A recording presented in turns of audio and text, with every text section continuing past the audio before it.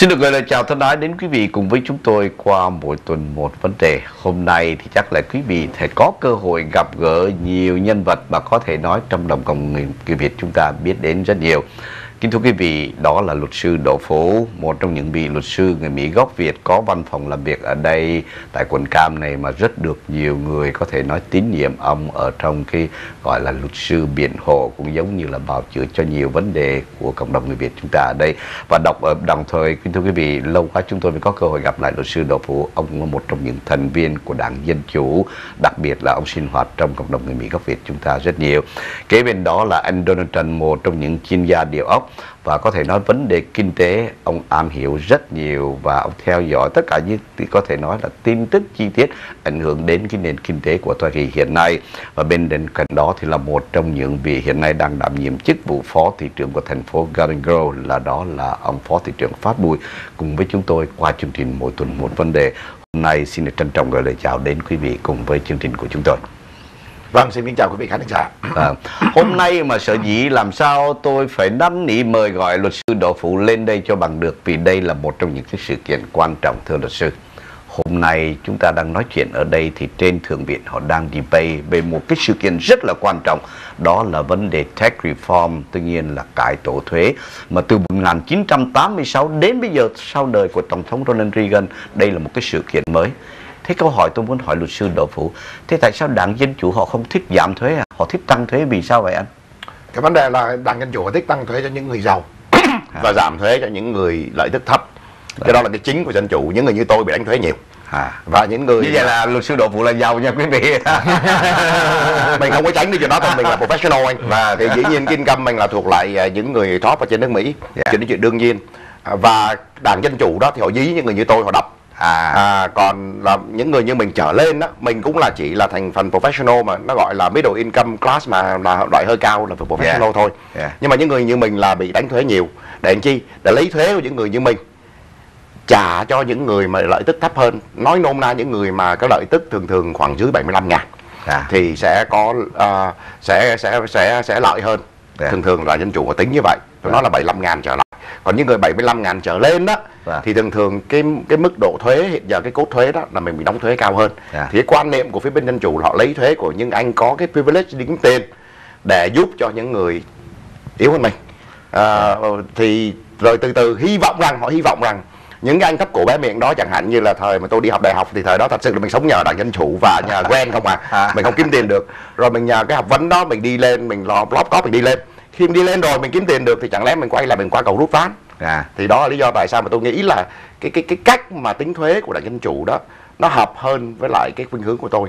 Nhưng, nhưng mà thưa luật sư Đỗ Phụ Đến bây giờ thì tất cả mọi người đều biết Một trong những cái đường lối chính của cái vấn đề cải tổ thuế năm nay Là giảm thuế cho tất cả các cái corporate Như là cái các ờ, cơ sở kinh doanh Từ 35% đến xuống 20% thì cái điều đó đâu phải là những người giàu mà là lợi tức cho tất cả những người công dân rồi lợi tức có lại là mang thuế về cho một cái cho quốc gia khi mà nhiều công nhân làm việc thưa luật sư Đỗ Phú. cái vấn đề này là anh nói về corporation tax Dạ, corporate tức tax, là dạ. ví dụ như là công ty anh đi làm đúng ra anh công ty phải đóng thuế 35% Dạ. thì bây giờ anh giảm xuống đóng 20% Vâng. thì nó nói chung là những cái corporation lớn đó mà thường thường anh có đầu tư trong đó đó thì anh được giảm cho những công ty đó thôi Vâng. cái lý do là chỉ có công ty được giảm thôi Dạ.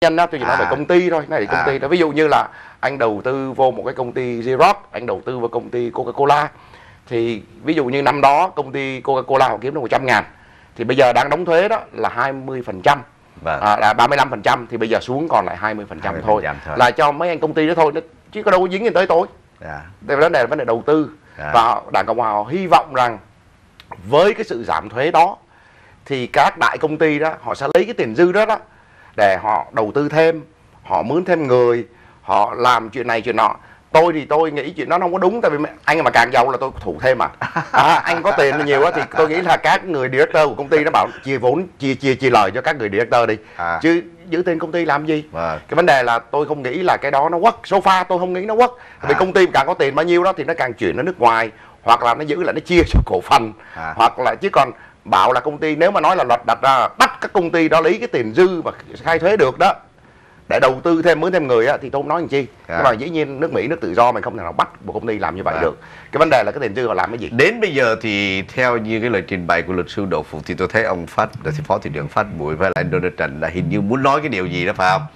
À, Anh nói trước hay tôi nói trước nào ai cũng Anh được nói trước đi. Dạ, nói À. trước thì ờ, lời của anh uh, luật sư Đỗ Phủ nói rất là đúng chứ không phải là sai tức là cái cái, cái nhận xét là đúng. Yeah. nhưng mà thực tế đó là nó như thế này. Tại vì sao á, là cái corporate tax ví dụ như ngày xưa nó nói là từ 39.6 bây giờ xuống 20 để cho người ta đầu tư này nọ thêm. Tại vì khi mà cái cái cái corporate tax á, mà nó giảm xuống á, thì nó khuyến khích nước ngoài cũng đầu tư vào nước Mỹ. Đó là cái điểm thứ nhất. Cái điểm thứ hai á, để cho nước Mỹ cạnh tranh được với những cái nước khác tại vì cái corporate tax của những nước khác cũng chỉ có 20% thôi. Trong khi đó nếu mà cái corporate tax của mình là 39.6 hay là 35 thì mình không có cạnh tranh được. Thành ra bởi vậy nha trong mấy cái debate á, ông Trump với lại những người đảng cộng hòa hay là nhiều người nói đó là để nó giúp cho nước Mỹ cạnh tranh. Thành ra nó giảm thuế ở chỗ đó. Còn cái chuyện là bắt người ta phải invest thì ấy thì sofa thì tính cái lời đó là những cái lời người ta nói nhưng mà không biết đúng hay không. Nhưng mà sofa là mình nhìn thấy có, hiện giờ có rất là nhiều nhà đầu tư đầu tư vô trong nước Mỹ rất là nhiều. Thí dụ như SoftBank của nước Nhật là muốn mua Uber rồi muốn mua cái, cái, cái công ty Flipkart tức là người ta mua đó để đầu tư để khuyến khích lên. Tại vì tương lai á, là tất cả cái gì đó cũng là dùng artificial intelligence tức là technology rất là nhiều. Thành ra cái đó, đó là một cái đường lối mới một cái ấy dữ kiện mới. Thành ra ừ, tôi nghĩ rằng là ờ, bây giờ người ta estimate thôi chứ chưa có đúng. Như vậy thưa anh Donald Trần tôi muốn hỏi anh có hai câu hỏi. Câu hỏi thứ nhất là khi mà luật sư Đậu Phụ cho biết rằng là giảm cái thuế corporate tax á, từ 35% xuống 20%, anh nghĩ rằng cái corporate tax đó lợi hay là những người gọi là đại tư bản âu cái cái công ty đó lợi nhiều hơn? Anh anh nghĩ như thế nào? Ờ. nếu như vậy thì những người mà âu cái công ty đó thì họ giảm thuế một cái số tiền cách xù cho họ rồi. Làm sao mà mà có thể nói rằng là giúp cho người nghèo được cái vấn đề đặt ra là cái giảm corporate tax không phải là giúp cho người nghèo Dạ. mà nó phát triển kinh tế nó create job cho những cái người đi làm Tôi, tôi hỏi anh cái đó trước Đó. để trở lại vấn đề thứ hai là anh nói vấn đề create job tôi bằng đồng ý với anh hoàn Rồi. toàn là sự đầu tư của nước ngoài vào.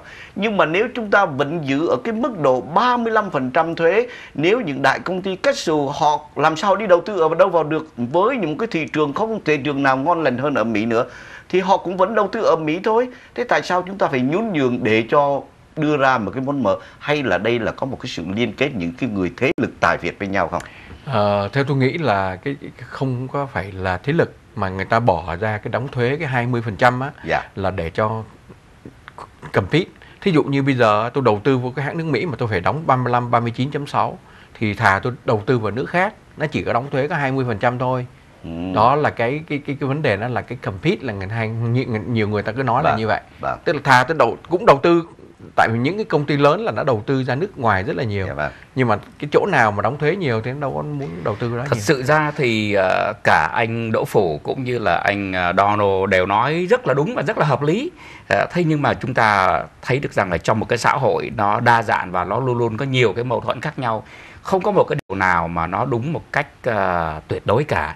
À, thành thử ra nếu nói rằng chúng ta à, giảm thuế thì nó chỉ có lợi cho đại tư bản mà không có lợi cho người nghèo cũng không đúng mà nếu mà nói rằng là đánh thuế người giàu để mang hết những cái lợi đó nhiều đến cho người nghèo nó cũng không đúng hoàn toàn mà tất cả những việc đó nó tùy theo cái ảnh hưởng nó đến như thế nào thì đến đây tôi nói đến đây thì thấy đèn nó chớp rồi chắc là À. phải chờ đến cái giờ sau để chúng nhưng, ta nhưng bàn mà thêm. nhưng, nhưng mà anh cứ anh anh chúng tôi chờ muốn nghe anh nói thêm một cái điều nữa thì lẽ dĩ nhiên những cái điều anh nói đó là những cái điều căn bản ai cũng biết như vậy.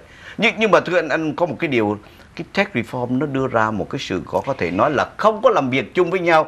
Anh có thể tưởng tượng Điều- rằng thường Việt dân chủ họ không cần đá đề động đến chuyện đó cho các ông tự giải quyết với nhau thôi.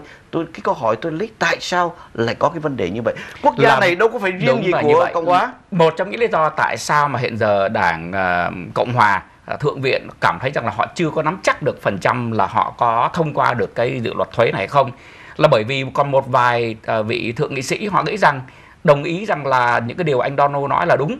À, nếu mà giảm thế cho các đại công ty thì kinh tế nó sẽ phát triển. Và khi kinh tế nó phát triển đó thì deficit nó sẽ giảm và sẽ có thêm công việc làm và người dân sẽ sống một cách uh, tốt đẹp hơn. Tuy nhiên nếu mà kinh tế nó không phát triển như là người ta dự tính thì bây giờ làm sao?